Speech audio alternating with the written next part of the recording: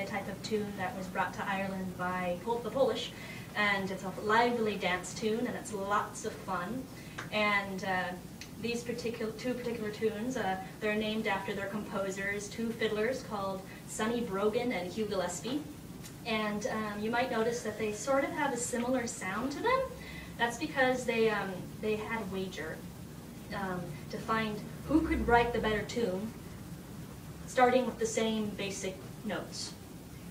And I don't think anybody really knows who won the bet, but the tunes are a lot of fun. So here we go, Sonny Brogan and Hugh Gillespie.